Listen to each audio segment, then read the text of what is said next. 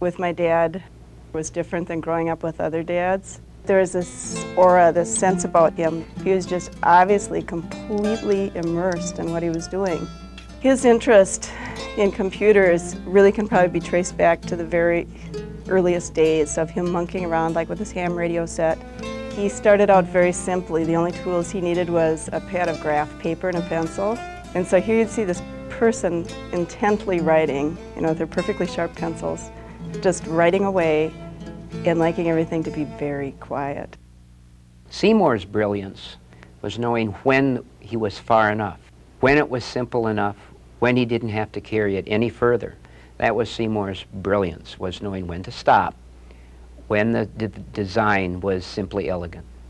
I can see today how Seymour had a passion for developing high-performance computing as far back as the 50s. The first machine was the 160. Then that developed into the 1604.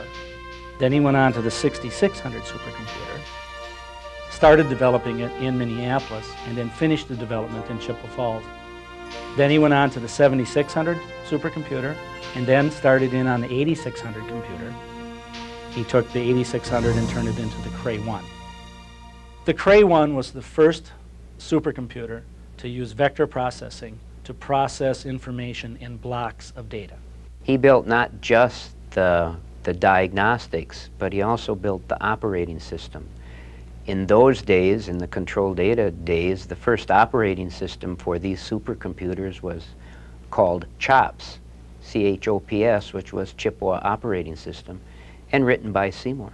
He made everything appear very simple. There he is, you know, in his plaid shirt and his mason shoes, and he's walking through the woods over to the plant, and he's, you know, working with his graph paper and pencils. It didn't look real impressive. I mean, it just looked like somebody that was totally fascinated with what they were doing and was just doing it.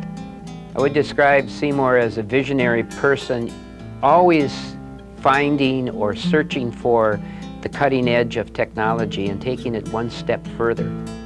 Somebody told me once that the Chinese symbol for crisis has two overlapping symbols. One is danger and one is opportunity. My dad was very comfortable in facing crisis. He was willing to override that danger and go, ah, opportunity.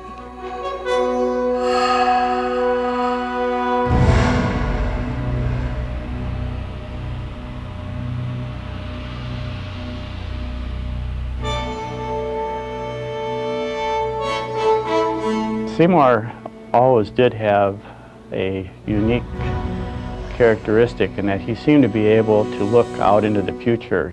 Supercomputers that Seymour designed had a tremendous impact on our everyday lives. The safety design of cars, crash testing, exploration for petroleum, certainly the design of uh, military aircraft, and then later the design of civilian aircraft were all areas in which supercomputers had a tremendous role. I don't think he thought of himself necessarily as being a creative genius. He thought of himself as being incredibly persistent. And he was able to take a concept and then just think about it and think about it and think about it till he finally arrived at the solution. Seymour was one not to be burdened by perhaps what you had done in the past. It was his uh, foresight and being able to anticipate what you might be able to do in the future. All of my friends always talked about how he had this twinkle in his eye, which is probably like a trademark.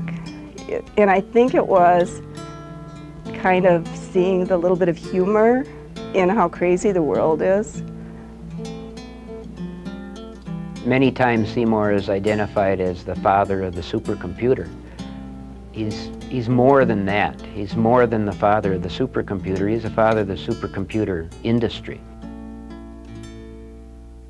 I want to be remembered by the people I live with, being a person they wanted to be with. I want to be satisfied with myself when I die. I guess that's the most important. I did the right things, hopefully at the right times, although that's too hard to do all the time. Be comfortable with yourself. That's enough.